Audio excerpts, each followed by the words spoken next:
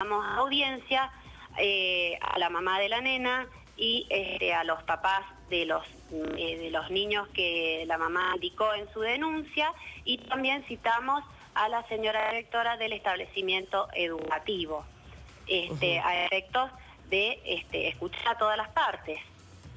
Claro, totalmente. Ahora, eh, por lo que estamos viendo, la directora del establecimiento educativo, digamos, ya se había comprometido la propia institución a tomar cartas en el asunto, pero fue insuficiente porque siguió el hostigamiento.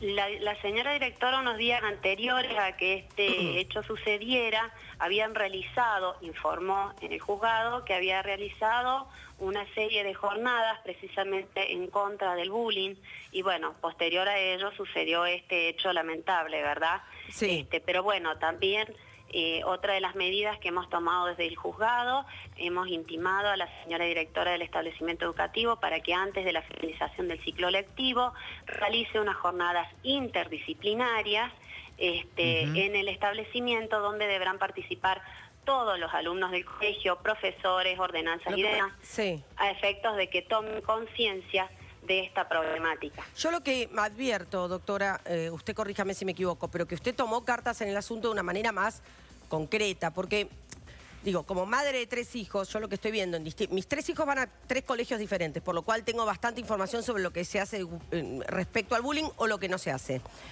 Y lo que observo es que, bueno, sí, hemos tomado conciencia, eh, le hemos hablado para que tomen conciencia, pero no sé hasta dónde una institución escolar solo por dar una charla, un día que lo marca el calendario escolar, ya eh, digamos, está trabajando el tema del bullying. Para mí hace falta, digamos, que, que se comprometan más y que el tema, y me da la sensación de que esto tiene que ver con un trabajo de todos los días. Y hay veces en que los docentes naturalizan situaciones que no deberían naturalizar, pero tal vez eso es porque le falta capacitación.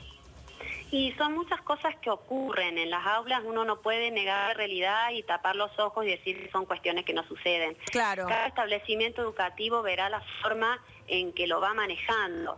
Nosotros hemos tenido que tomar intervención a raíz de una denuncia.